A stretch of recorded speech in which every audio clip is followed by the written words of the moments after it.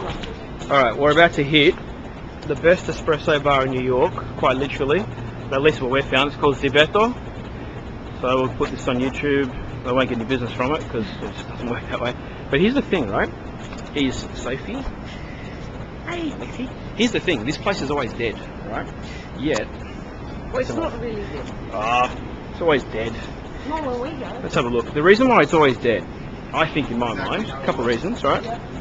Is um, we'll do a thing inside now, but here's the thing: if you look around, there's always work at the front, all these roadworks and shit, right? This will be affecting their business for sure. But there's another reason I think, as this: the coffee's so bloody good that I don't think the Americans, no offense, even know what good coffee is.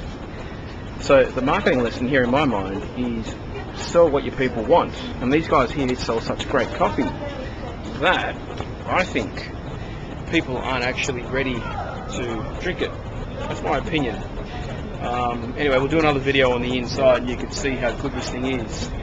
Uh, this place is always dead, like there's no one in here right now and it's Sunday. Uh, and the most we've seen in here is probably five or seven people at once. And look at So, the location that we're at. what location? What location's Well, that? we're we're just around the corner from Wall Street.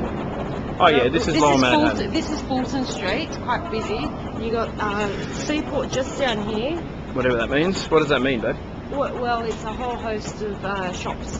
Right. Um, bars, shops, discounted places. A lot of lot of traffic goes. This area is pretty hustly. Like there's people around here. Today's quiet because it's Sunday, but these guys don't do much for a business. But let's do a thing on the inside.